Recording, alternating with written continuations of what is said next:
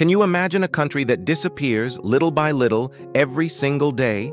A nation that is literally vanishing from the world map? What if I told you that for one country, their only hope for survival is to move online?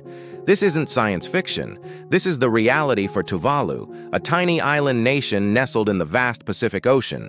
With a population of just around 11,000 people, it's one of the smallest and most remote countries on Earth. But it's facing a colossal threat. Due to climate change, sea levels are rising at an alarming rate, and Tuvalu is on the front line of this crisis. Think about it. The highest point in the entire country is less than 5 meters above sea level. With every high tide, salt water surges inland, flooding homes, contaminating fresh water supplies, and destroying the land they rely on for farming.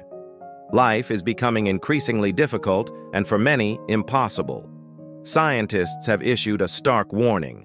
In the next 50 to 100 years, Tuvalu could be completely submerged. Gone.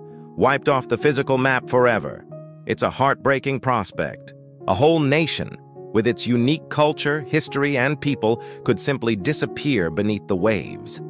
But the people of Tuvalu are not giving up.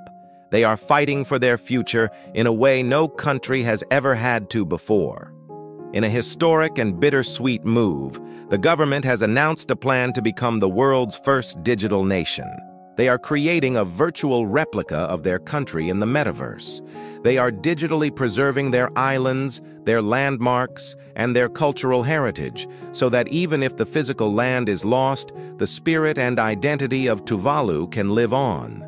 Future generations of Tuvaluans, wherever they may end up in the world, will be able to visit their homeland online, walk its virtual streets, and connect with their roots.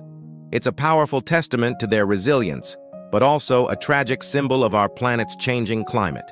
Tuvalu's story is more than just a headline. It's a wake-up call for all of us. It shows what's at stake if we don't take climate change seriously. This isn't just happening to a distant island.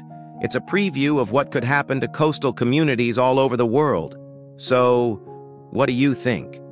Would you want to visit Tuvalu before it's gone forever? And do you think moving online is a viable way for a country to survive? Let me know your thoughts in the comments. Thank you for watching. If you found this story as moving as I did, please like this video and subscribe for more content that matters.